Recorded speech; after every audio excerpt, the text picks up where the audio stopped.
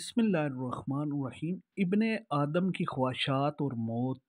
अनस बिन मालिक रज़ी अल्लाह तहो कहते हैं कि अलैहि वसल्लम ने फरमाया, ये इबन आदम है और ये इसकी मौत है। और आपने अपना हाथ अपनी गद्दी पर रखा, फिर उसे दराज किया और फरमाया, ये इसकी उम्मीद है, ये इसकी उम्मीद है, ये इसकी उम्मीद है। वज़ात मफहम यह है कि इबन आदम की ज़िंदगी की मदत बहुत मुख्तर है।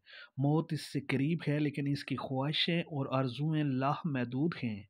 इसलिए आदमी को चाहिए कि दुनिया में रहते हुए अपनी मुख्तर ज़िंदगी को पेश नज़र रखे और ज़्यादा से ज़्यादा नेकियाँ कमाने की फ़िक्र करे।